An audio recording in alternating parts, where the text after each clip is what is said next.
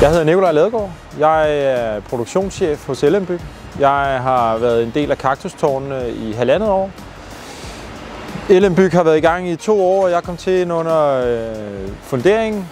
Og siden da har jeg fulgt øh, opførelsen af tårnene, og nu er vi i gang med den tredje bygningsdel, vi har herinde, som er basen, som øh, er ligesom den del, der binder tårnene sammen og sammenslutter hele byggeriet til, til en samlet øh, bygning. Jamen undervejs i projektet, der har vi stødt øh, på flere udfordringer. Vi arbejder herinde med øh, tre statiske systemer. Et for hvert tårn og et for mellembygningen. En del af mellembygningen er placeret indenunder det ene tårn, og det øh, gav os en udfordring øh, i forbindelse med montage af den søjle, der står heromme bag ved mig.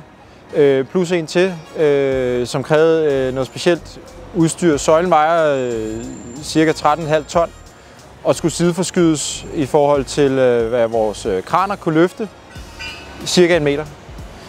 Til det der har vi brugt et øh, stort løfteår, som vi kunne opstøve, og et specielt designet anhugningsaggregat. Kaktustårnen er et udfordrende projekt, særligt den aller sidste bygningsdel, vi er ved at lave, som er mellembygningen mellem tårnene.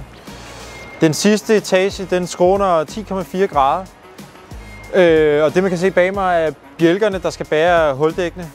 Den grønne kile, som øh, skråningen her bag os den bliver kaldt, den kommer til at være en del af Københavns Kommunes øh, lokalplan for området mellem Trafiktårnet og øh, ned forbi Dybelsbro, helt ned til SEB-banken.